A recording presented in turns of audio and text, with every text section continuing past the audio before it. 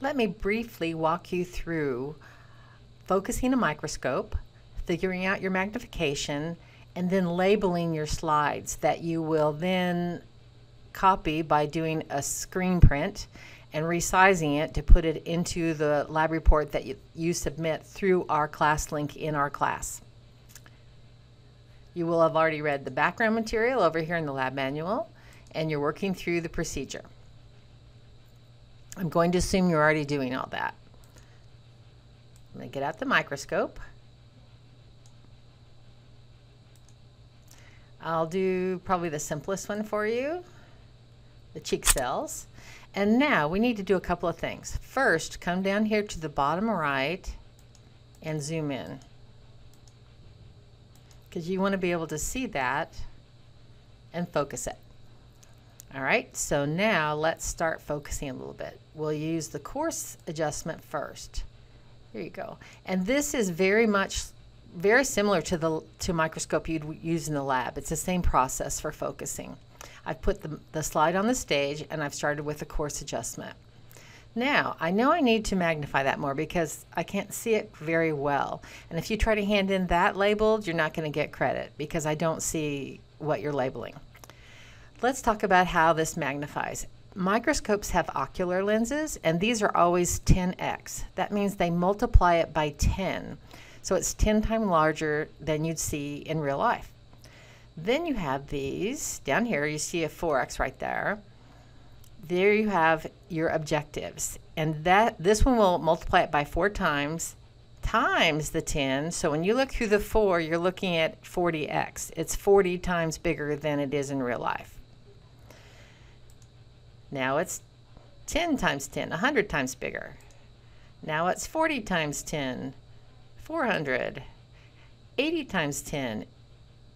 This is looking pretty good actually, but I'll just take it up one more. That would have been at 800 times bigger. Let's go a thousand times. And now you see it's kind of off my screen.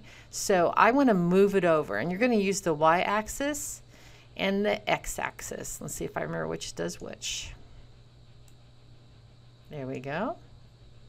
Now I can see an entire cell, and that's something I'm going to ask you. If you just show me a portion of a cell and try to tell me what things are, I can't be sure that you have it correct unless I've seen the whole cell. So you want at least one whole cell on there.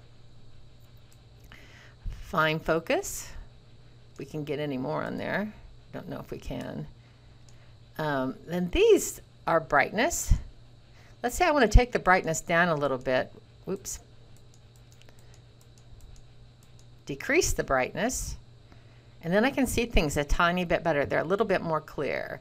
I can do the same with contrast by doing this plus and minus. Now, here's the, the good part. I'm not going to have you label it here because you end up with these little hands and dots and things that are already complicating a very small screen. So I'm going to have you save it first. So save it as a snapshot.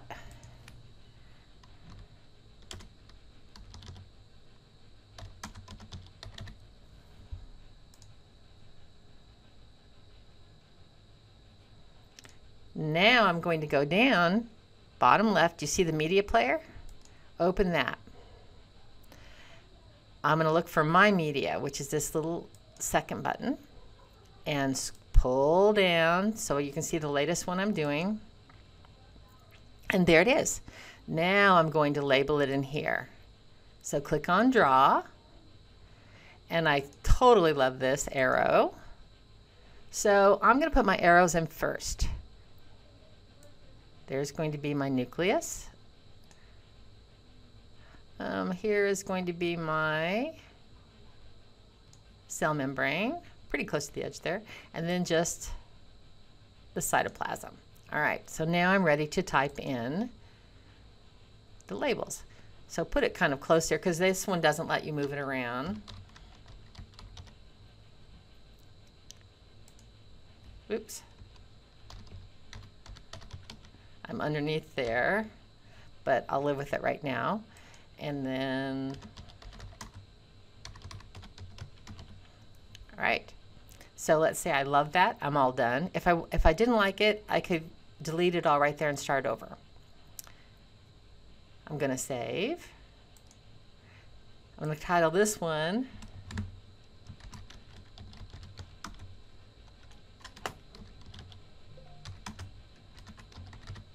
labeled cheek cell. And now let me go back to my media. Oops, I'm in my media. let me get out of it and then pretend I'm going back. Boom. Scroll down and there's my labeled cheek cell and it even tells you the date that I made it. That's the one now.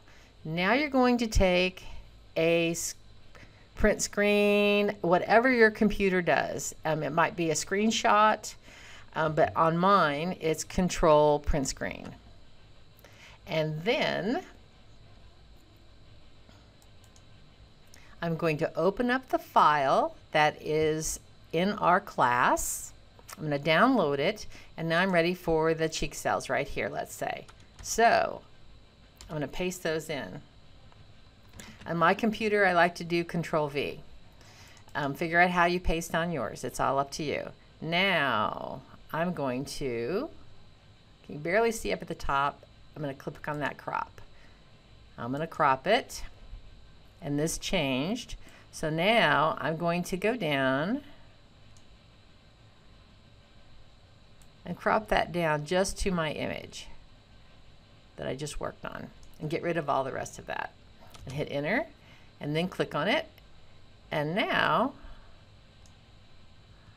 as you can see, I have my image and I click on it and I can draw, drag these corners to make it as big as I like. That I can grade. All right. You will save this on your computer when you have it all done, and then that is what you attach through the link in the assignment link in our class. Hope that answers your questions.